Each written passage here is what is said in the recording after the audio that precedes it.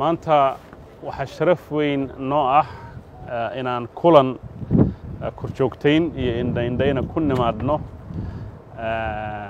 xarunta tababarka ee genaraal degebadan oo ah xarumaha ugu muhiimsan ee lagu tababaro kaadiriinta militariga soomaaliya. Xaruntan waa xarun dowladda soomaaliyeed ay ku taageeraan kuna garab taagan yihiin midowda yurubiyanka oo cilaaqaad qoto dheer uu ka dhexeeyo oo dhinacyo kala duwana. Waxaa hubaalah in midowda yurubiyanku uu soomaaliya ka taageero dhanka dhaqaalaha ay si weyn u garab taagnaayeen dowladda soomaaliyeed xilligii deyn cafinta. Maalin walba gacanay ka geystaan arrimaha bini'aadinimada iyo qarandhiska guud ahaan. Dabcan amisomna in badan iyaga ayaa gacan ku hayey xagga taageerada. Laakiin waa cusub baa soomaaliya u baryey waa xilli cusub.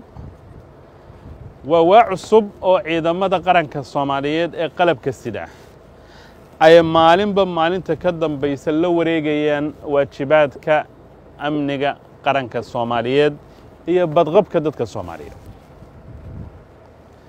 Haddii aad maqashaan magaalo cusub iyo goob cusub baa laga qabsaday khawaarijta haddii aad maqasheen ciidamada qaranka soomaaliyeed baa la wareegay xarodheere baa la wareegay muqokori baa la wareegay masaajidka cali guduud baa la wareegay aadan yabaal ceeldheer masegawaay meelahaasoo dhan haddii aad maqashay. Ma aha wax si sahla ku yimi. Waa dhallinyaro soomaaliyeed oo marka u horraysay u soo banbaxay u soo badheedhay in ay dalkooda difaacaan. Oo ay ku difaacaan naftooda dhiiggooda iyo dhicaankooda. Marka la helo marka nin dhallinyarada soomaaliyeed oo raba inuu waajibaadka ugu mudan ee qaran loo qabto ama qoomiyad loo qabto. Marka la helo waa lagama maarmaan in la helo goobo tababar oo halkaas lagu siiyo tababarkii qalabkii iyo aqoontii uu cadowga iskaga jiri lahaa.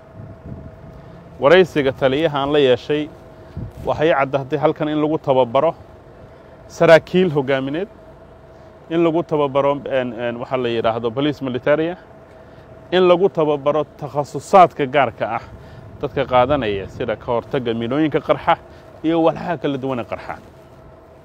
Tababarka ka sokow ciidamadii waxay u baahan yihiin qalabayn waxay u baahan yihiin agab waxay u baahan yihiin xirfad isweydaarsi.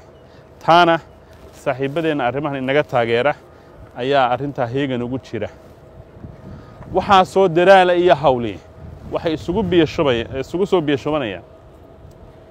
In aynu waajibaadkeenna la wareegno. In soomaaliya aanay ahaan meel soddon sanno amnigeeda ay shisheeya gacanta ku hayaan.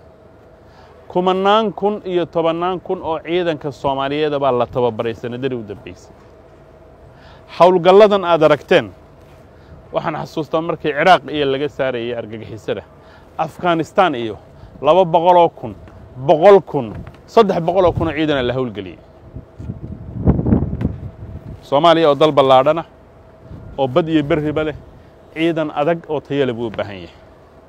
Ciidankaasi ma noqon doono mid keliya ku wajahan nimanka hadda aynu iska sifayn doonno ee khawaarijta la yidhaahdo waa ciidan la rabo inuu cadowyada kala duwan ee aynu leenahayna ee dalka soo weerari kara ee damca ka geli karo uu hor joogsado.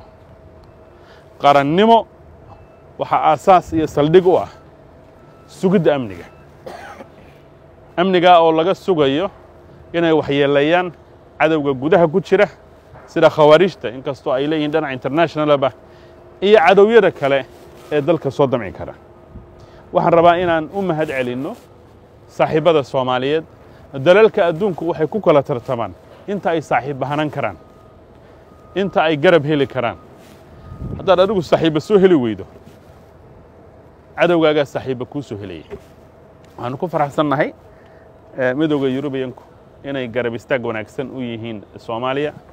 Maalinba maalinta ka dambaysa xilli baa jiri jirtay. Anigu tobaneeyo sanno ka hor ayaan ka shaqaynaya boliiska iyo bahda amniga soomaaliyeed. Xilli baa jiri jirtay. Qofka yugandhiya meelaha lagu soo tababaro hadhow cid hanata ama howlgelisa ama sii waddaba aanu haysan jirin.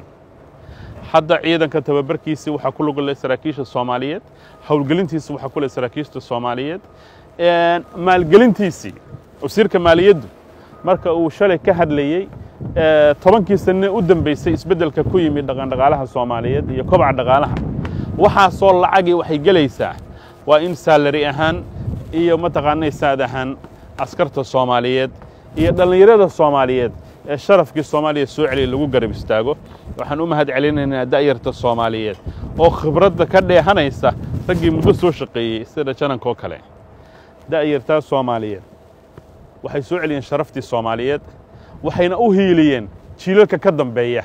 Oo aan nolosha ka lumi doonin hadda halka markaan ka tago waxaan togi doonaa barnaamij kale oo dadka waxbarashada da'da waaweyn ama xirfadaha la barayo ee fursaddii iskuul waayey lagu taageerayo sababta uu ilmo soomaaliyeed uu siddeed iyo toban jir ku gaadhi karo bilaa iskuul waad garan kartaan soo maha. Waa amni darro waa dawlad darro waa qaran la'aan waa ciidan la'aan. Marka goob xasilan helo waxbuu baran karaa. Intaasaan ku soo koobayaa safiirka jenaraalada iyo tababarayaashuna aad bay u mahadsan yihiin. Safar baanu geli doonnaa waxaan eegi doonaa bal howlaha kala duwan ee iyana meesha ka socda. Aad baan idin salaamaya